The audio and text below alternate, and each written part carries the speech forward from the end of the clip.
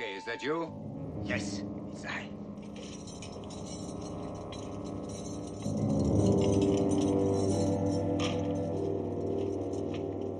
Light your lamp.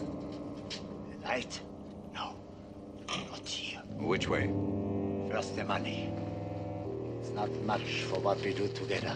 What I do, old man, you will merely keep watch.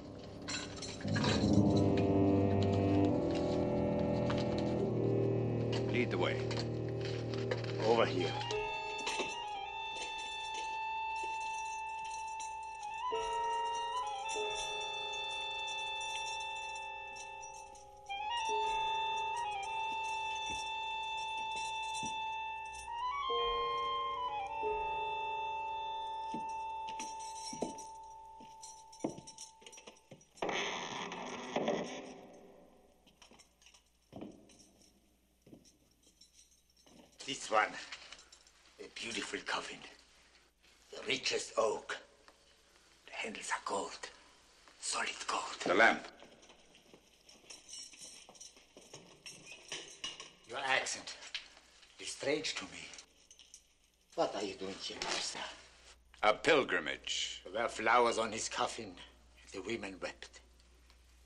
The dew glistened in the morning like the tears. I saw them weeping they laid him to rest. Wait for me outside. Leave me alone. Alone in here? What kind of a man are you? A man with money. Now go. I.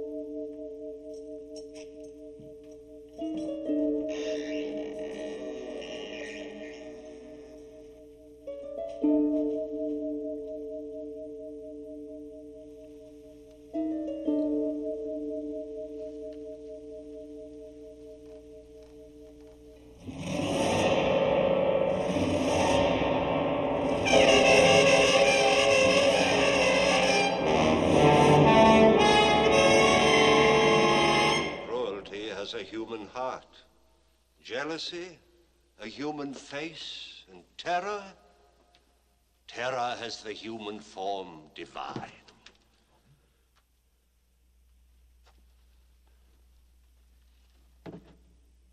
Tonight we will see how one man's cruelty and jealousy create a terror which can scarcely be considered human and which waits silently, malevolently beneath the lid of this teakwood chest. That's the name of our story, The Terror in Teakwood. Join us now as these others did who had the misfortune to learn what it contains. Mr. Guy Rolfe, Miss Hazel Court, Mr. Charles Aidman, and Mr. Reggie Nalder. Oh, no. I can't permit you to leave. You've already learned a great deal too much. I can only suggest that you get a grip on yourself.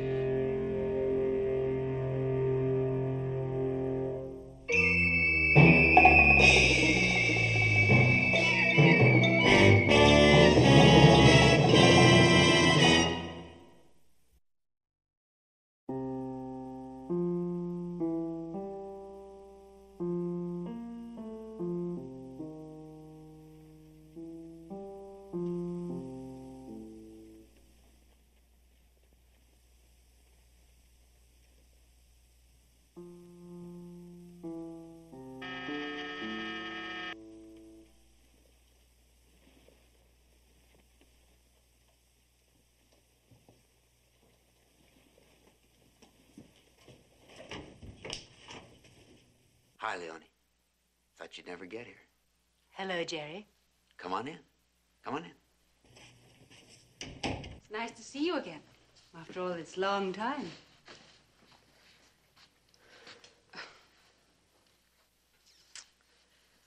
Still a place of honor. Turned it around so you'd notice. Well, you shouldn't have. But I admit it pleases me. Champagne. No, thank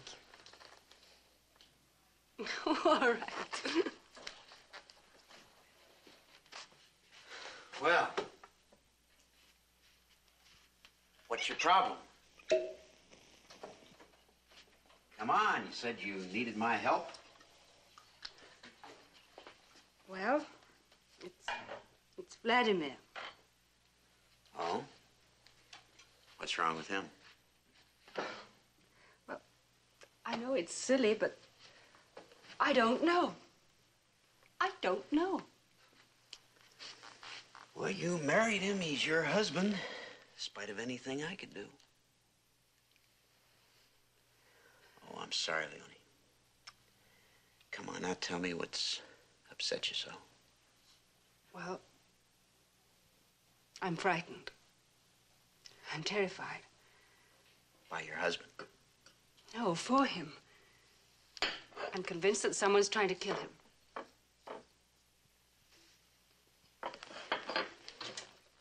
You, uh, you ought to be talking to the police. I tried to, but he wouldn't let me. Last night, someone broke into the apartment. Suddenly, I woke up and I found someone touching my throat and my face. Cold, dreadful hands. I screamed and I reached for the light. There was Vladimir sitting on the other bed. His face was ashen. There was blood all over his body and his pajamas were torn. Oh, it was horrible, Jerry. Absolutely horrible. He didn't call the police? I tried to, but he wouldn't let me. He said I was never to speak of it again. You mean somebody attacked you and your husband says to forget it? This isn't the first time I've found him all bloody and exhausted as if he'd been fighting. Something's come between us, Jerry. Something so horrible that, well, he can't talk to me about it. All right. What do you want me to do? Thank you, Jerry. I knew you'd help. We've taken an apartment while we're here in New York. And I want you to come and live with us. Oh, Oh, I have it all arranged. Vladimir's manager is ill, and he needs someone to uh, look after his affairs while we're here in New York. Uh, tomorrow night is the first concert of the American tour. Mm-hmm. Before we left Vienna, Vladimir wrote to Glockstein asking him to find someone to uh, represent him here. I called Glocky from Paris asking him to recommend you. I see you've been scheming. Just a little. Do you think your husband would accept me, an old rival, working for him? Oh, he doesn't know anything about you. Please, Jerry. I'll talk to Glocky. But if he agrees with me, you're going to go to the police. But if he thinks I can help, I'll do what you want. Thank you.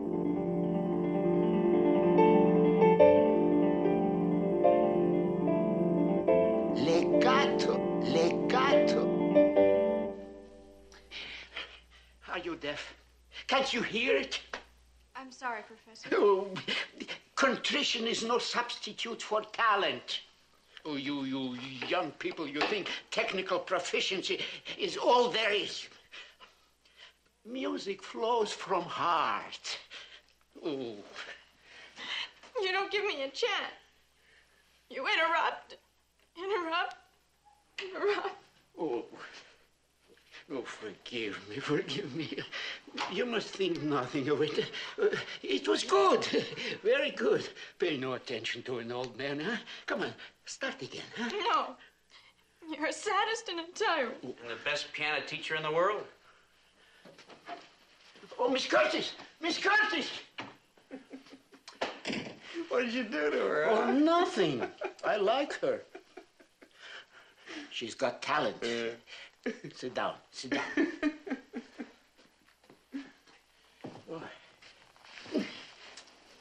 You've come about Leonie, huh? Yeah. Did she call you? Yes. Well, what do I do, Glocky? Take the job, of course. Well, that's what I want to do.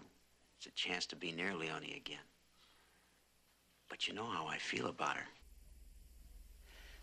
How can she be happy with that Vicek? Why, you know something about him? I know he's the greatest pianist in the world. All genius is hard to live with. That she knew when she married him. Yes, but uh, Vicek must be impossible. He has but one passion, his music. For years, only one idea, to surpass Carnowitz. Believe me, my friend, it was a mania. But Carnowitz is dead. Can you believe this? Vicek took his young bride on her honeymoon, mind you, to Carnowitz's funeral. just to assure himself that his rival was really dead. Since then, Leonie has been afraid. Of what? I wish I knew. Even Leonie is not sure. She told you about that night. You don't think it could have been Vicek himself, do you? I cannot tell. I do not know. But I know this, my friend. You must help her.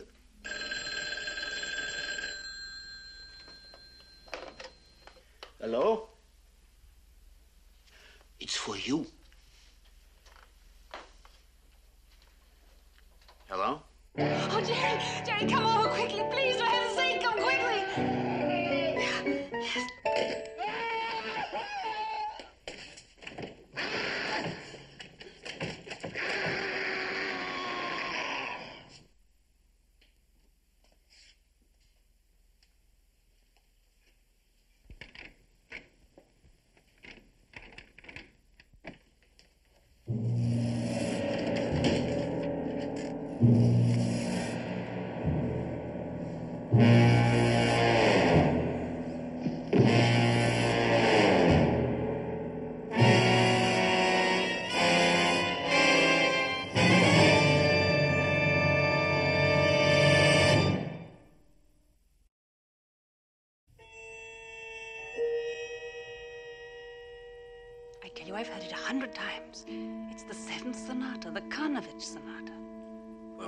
Is, we've got to get a doctor.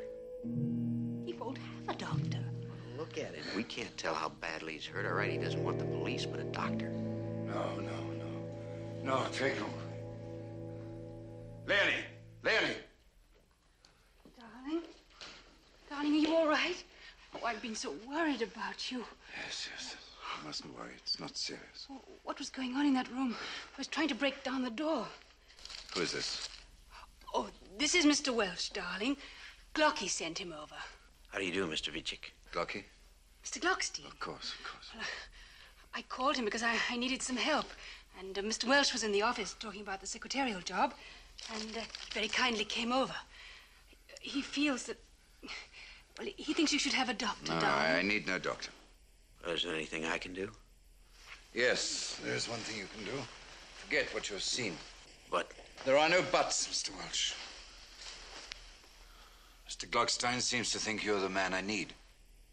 Your presence here indicates that you find my proposition acceptable. If you're to work for me, one thing must be clearly understood. I expect my employers to accept my wishes without question. yes, of course. It might be more convenient for you to stay here whilst you're in my employ. Well, I, I don't think. Uh, There is a spare room down the corridor. Now, if you'll excuse me, I must make myself presentable. I shall be rehearsing most of the day.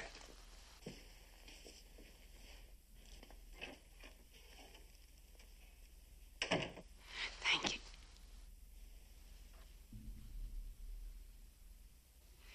Uh, thank you, Mr. Welch, for coming over. You've been most helpful. not at all. I hope your husband will feel better soon. Oh, I'm sure he will. Thank you.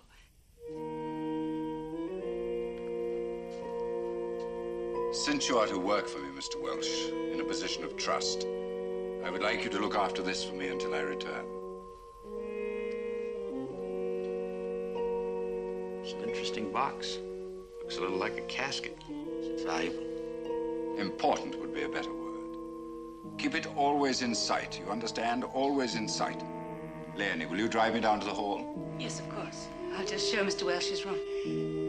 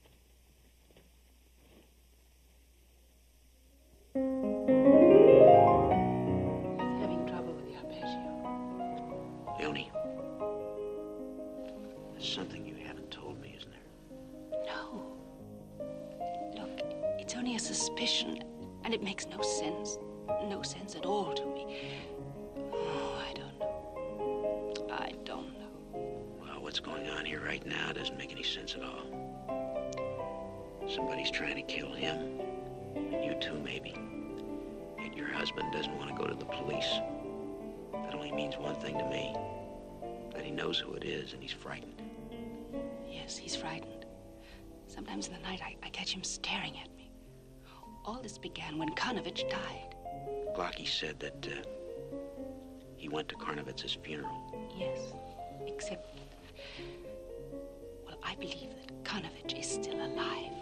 Oh, no, that's ridiculous. The press, friends, there were thousands of people at the funeral. No, Jerry, just let me tell you. One night he left me, late. A few hours later, he came back. And the look of hatred in his eyes was maniacal. He said he'd been to the cemetery.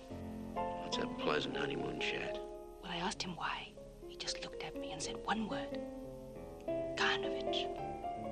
Now, Jerry, that was when all this terror began. And I believe he went to the cemetery and he found that the body was missing. I believe that Carnowitz is still alive, that he's here in New York. Does that make any sense to you at all? No, it doesn't. Jerry, I know I'm right. The music, the music in the room was the seventh sonata, the Carnowitz sonata.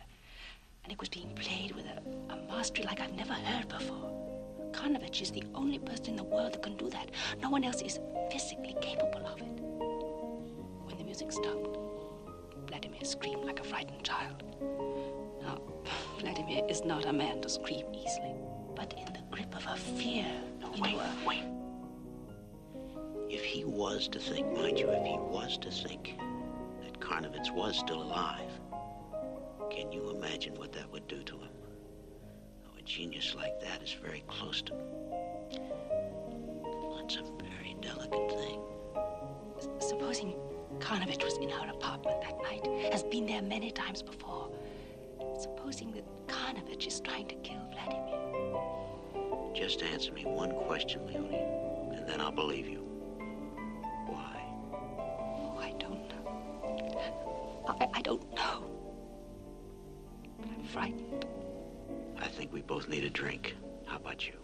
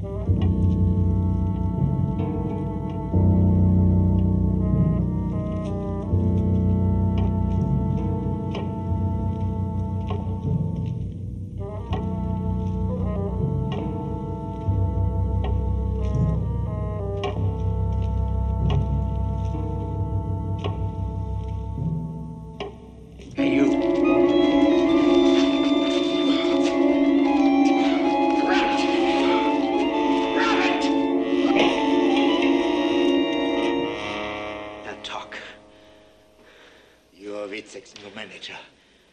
Aren't you? Come on now, what do you want? Money. Money. It will put an end to my troubles. Plenty of it. I'm listening. My name is Gafke. And once I was caretaker in a graveyard. You know the man puts away those empty yellow carcasses that used to be full of life and love and hate and all the wonderful things that life could be. A nice occupation, isn't it? Get to the point, Gafke. Always in a hurry, like the time that's running out for all of us. There's not much left for me. And I know just how a little money would make it easier for me to face the grave and the silence and the cold. In a coffin with handles of gold, pure gold. What I know is worth a lot more than what I have. What do you know about what? About Vicek. And about Carnowitz. He's not dead, is he? not dead. you don't know very much, do you? You go back to your Vicek and tell him that Gafke has come from the graveyard all the way to America to put an end to his poverty. When I opened the doors of the mausoleum for him, he was just a stranger with a touch of madness on him. But now I know who he is. A famous man, a rich man. And if I tell what I know, they will put him in prison. Put him in prison? For what? what happened in that graveyard? My money first. And it's got to be plenty, you understand? I tell him that I've got this, his knife. Let him keep his wooden box. But I want my money. All this will have more work to do. Can I find you when I want you? Right here. Every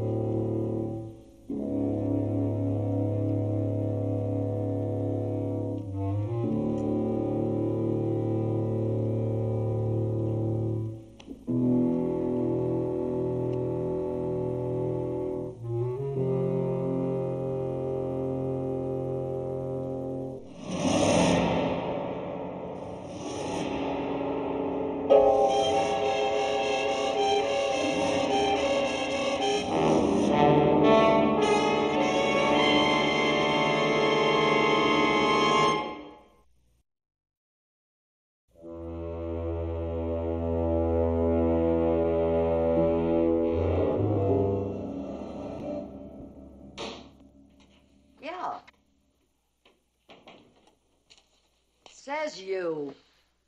What? Hey, wait a minute. Okay, okay, boy. Take the city desk.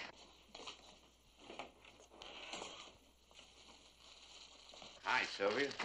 Ha! The very man I want to see. How are you? You're working for a madman, lover boy. Did you know that? I know, but I didn't think you knew. You don't know how mad. An egotistical, ill mannered, conceited, arrogant madman. I take it he's not your favorite musician. Here, I brought your tickets myself. Tickets to a funeral. To the destruction of a once great pianist, doomed to the extinction he deserves. I wish I hated music. Then I could really take pleasure in watching Vicek's folly. I wish I knew what you were talking about. Mean you don't know about the change in the program? Well, I know he's not going to play the Paisiello. And you don't know what he's substituting? Do you? I do.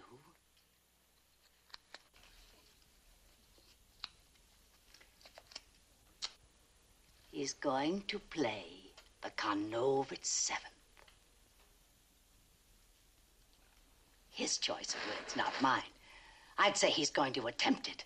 And he'll make himself a laughing stock. He'll be booed off the stage. He must be out of his mind. Like I said, a madman. Carnowitz and Vicek, the great rivals. Brother, I could tell you a story or two about them if you weren't so young and innocent. They hated each other's chitterlings. Chitterlings. Did you find that in the style book? There's nothing fit to print that describes those two. You know why Carnowitz wrote that seventh of his? Because he was fed up with Vicek yapping at his heels. He wrote himself a sonata no one could play, who couldn't match the phenomenal spread of his hands. I've heard that. Vicek never forgave him for it. And when Carnowitz died, I tell you, Vicek positively gloated, publicly. He laid his hatred out for all the world to see. A hatred bordering on insanity. A pathological hatred. Centered on a pair of hands. But what hands! They were long and white and delicate. The most beautiful hands in the world. Did you ever see them? Yes, Sylvia. I have seen them. Jerry! Oh, Jerry! Jerry, what? Mr. Weber, I want another piano in a hurry. No, no, no, it's all right. There is no time. No, uh, the black letter L, grand. The one I've always liked second best. Uh, yes, but you must hurry. Uh, there is no much time. Good. I'll wait for it. As soon as you can, I have to tune it. Fine. Oh, Jerry, thank heaven you've come. Now look at this. A disaster. Look at it. We'll lock the vault so that no one would touch the piano. Who would do such a thing? Does he know about this? We thought it best not to mention it. Don't you agree? Did you see a weird man with a limp around here? Yes, I did. He said that he wanted to see Mr. Vicek. And? I told him to come back after the concert. You think he's the one that did this?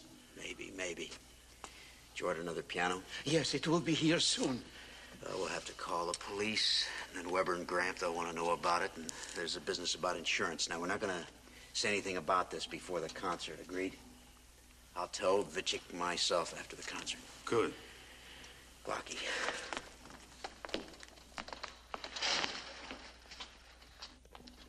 He's decided to play the Carnowitz Seventh. What? The Carnowitz seventh?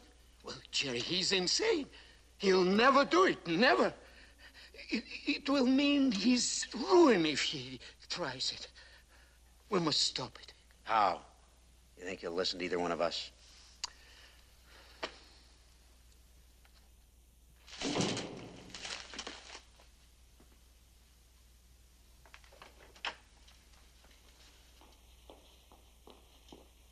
I came over as soon as he went to rest. Jerry, I think he saw us together last night.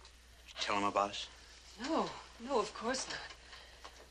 You don't know how violent he can be. I do, Leonie. Believe me, I do. You just can't stay with him any longer. He's my husband, Jerry. Do you know what was in that box he gave me to keep for him? No, but after he'd given it to you, a sort of peace came over him, as if a menace had been removed. What he's done, Leonie. What he's done is really horrible.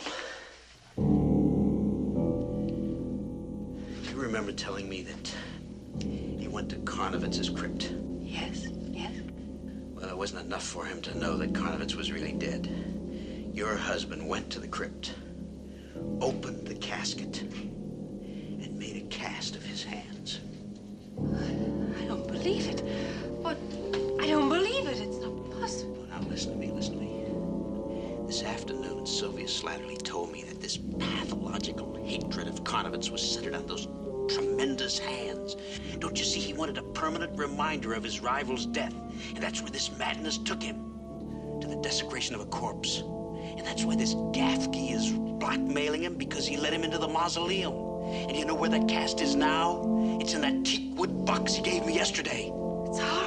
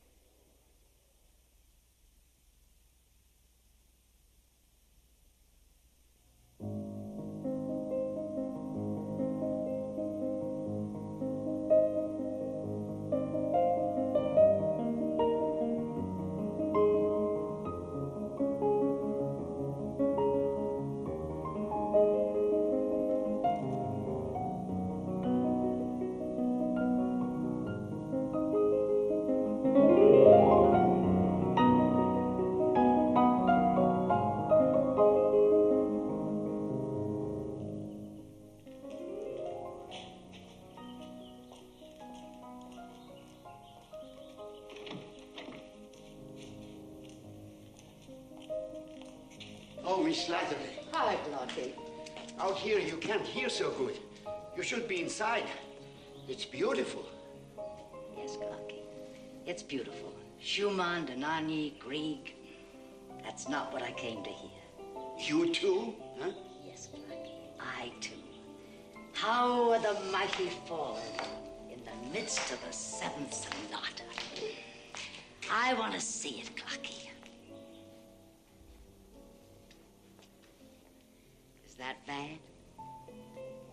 Suppose it is. How one man can inspire so much hatred. He's a great pianist.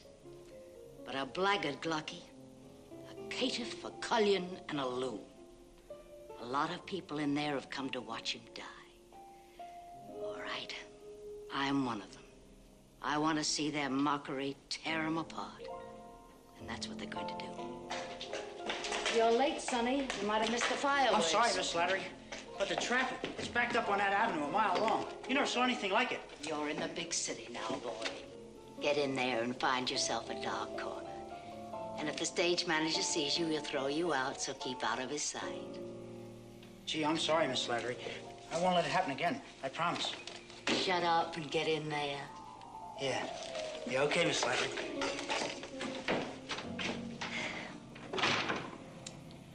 Too good to go unrecorded, Lucky. So, I'm a Jezebel. I'm a good reporter, too. Well, unless he backs down, the next one is the big one. Now the devil gets his due, Lucky. See you after the funeral.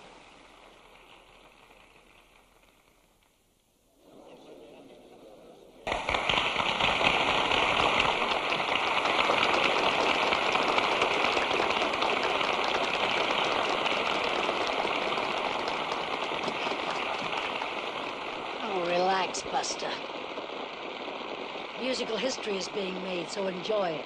The Seventh Sonata, and only one man could ever play it.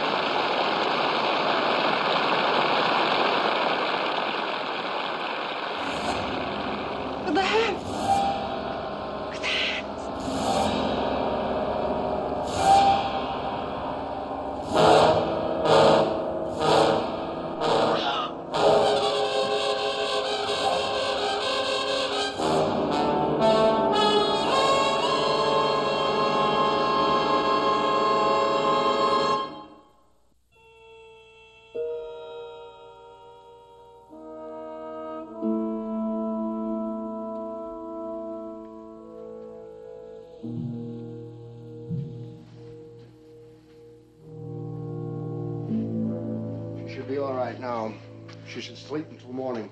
If she does stir, give me a call. What the devil's going on? I looked for you, Mr. Welch. I had to take a taxi. Leonie, what's wrong? She collapsed. I had to bring her home. This is Dr. Hilton. There's nothing to worry about. But I don't understand. What's happened? I gave her a sedative. She'll be fine in the morning. Just let her rest. Did she hear the sonata, Mr. Welch? She heard it. Good. Good. I wouldn't have liked her to have missed it. A triumph for both of us. If you'd like, I'll stop by again in the morning. Yes, do that, please. And thank you. Not at all. It's a pleasure. A pleasure indeed. I'll show you out. Thank you.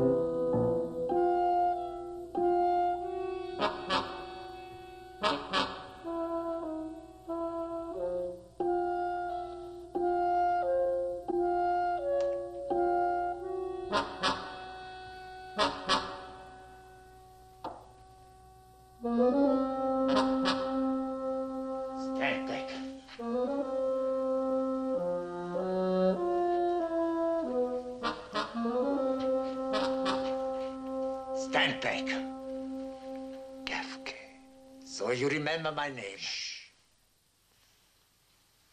Why did you come here? I want money. What else is there for an old man? Blackmail. Call it what you like. A lot of money for my old age, Mr. Vicek. I too know how to use your knife. To think I keep enough money here in the house to satisfy you?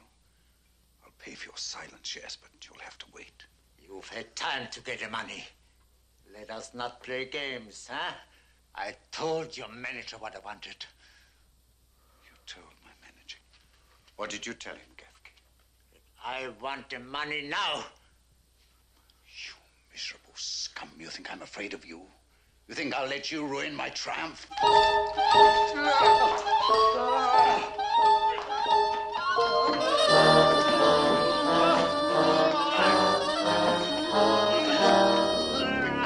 Me, you came out of the grave. And because of me, you shall return. Ah!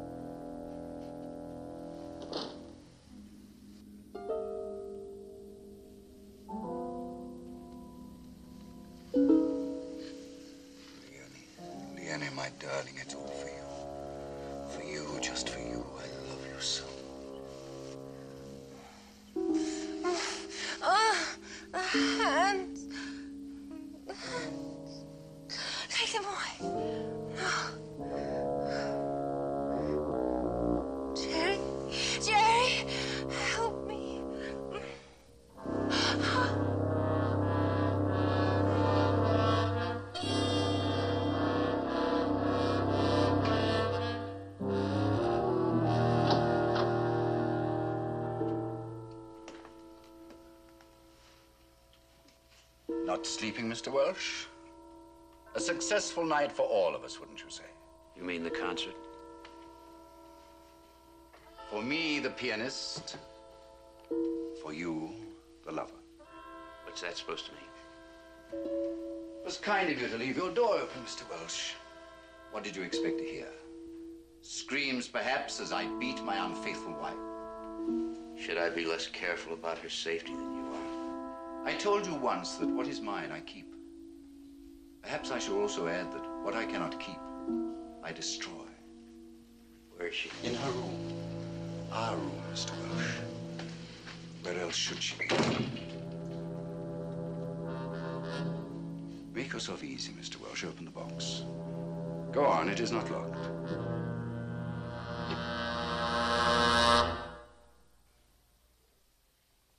Done with them, Vicek? Where are they? You will not leave this room, Mr. Welch, and I will. But first, I will tell you something of Carnowitz. That once great pianist now lying a mangled corpse in a desecrated grave. And even after he died, you couldn't forgive him for being a greater pianist than you. That's a lie. He was second rate, always second rate. Those freakish hands of his were all he had. There was nothing else, no greatness, nothing but the hands of a freak. Do you hear me? A freak. But you stole them. Yes, I stole them. Because they'd always stood between me and the fame that should have been mine. And even in death, Carnowitz left that malevolent sonata of his behind that he and no one else could play. But even in death, I found a way to conquer him. I won. You know you're insane, don't you? Am I, Mr. Welch? Am I? Who is to say? Yes, I stole those hands. So that I could keep them with me always in my possession, the helpless hands of Carnowitz. There's more to the story, isn't there? Yes, there is more. A strange thing happened, to Welch. In time, in time, those hands came alive. Can you believe that? Supple and soft and flexible and alive. I found I could even put them on like gloves. Does that horrify you? The dead hands of a dead man. That came alive for me. I found that I could use them. And once I even played that great, incredible seventh sonata with them. And then I knew the truth, the truth, Mr. Welch. It was never Carnowitz who played. It was those wonderful, incredible hands that once were his, and now they're mine. And they still fought you. Yes, they fought me. The spirit came back into them even as the life had done, and they fought me. They tried to tear me to pieces while I was sleeping, to wreak their vengeance on me, to kill me. They became alive with a savage, monstrous will of their own. And then you came, Mr. Welch, full of sly, insidious evil to take my Leonie from me. An unfaithful wife, Mr. Welch. What punishment would you say she deserves? Stay where you are. You will wait with me, and you will listen with me, and then you will watch with me. I know what those hands are capable of. I placed them on her bed, close beside her on the pillow, while she slept. She stirred once and she called your name, but she sleeps again like an innocent child. Like an innocent child.